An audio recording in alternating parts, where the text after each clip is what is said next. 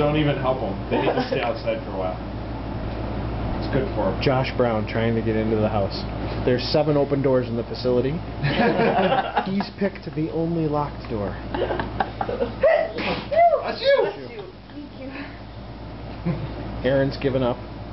Josh is reaching for his credit cards. He's going to try the credit card method. Now you know what he'll do next? He'll start licking the window. Yeah. Only if there's bird poop on it. He is already. Yeah, he's already smearing his face on it. Oh, Mom. oh, the old desperate cry for mom trick. Thinking of what next? Oh, Once they this is- found a locked door. nightmare. Boys,